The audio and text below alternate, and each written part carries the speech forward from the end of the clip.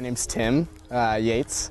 This is my fourth year working as a naturalist here on the jetty. Essentially, I'm here to talk to the public, let them know a little bit about the history of Everett and um, what the jetty is, and uh, just make sure they're having fun and um, having a good time out on the beach.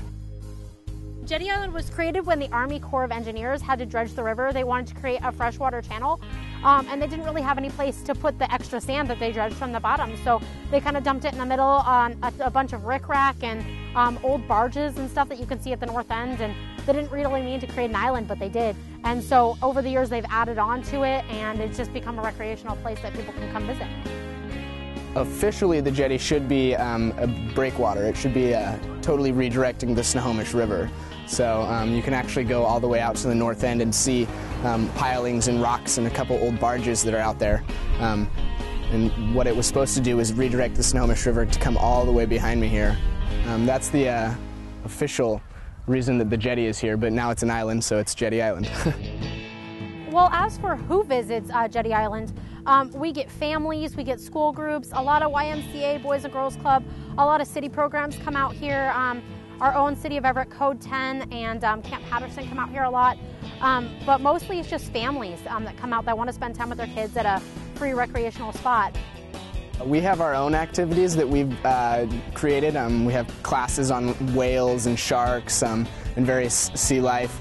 Uh, we also have nature walks. Um, we have a harbor cruise, and on the weekends we'll have uh, campfires of different sorts. I think we have a ghost uh, stories campfire coming up and a murder mystery campfire.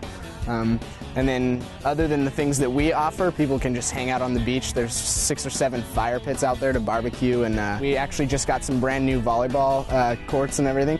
So, yeah, there's quite a bit to do, um, even without our programs.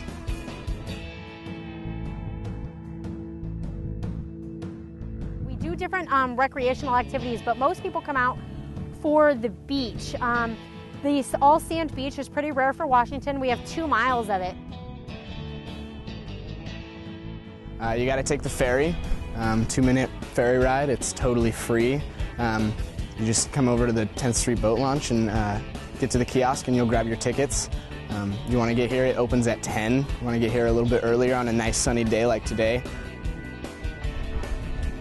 To make reservations, you can call the Jetty Island kiosk. Uh, it's 425-257-8304.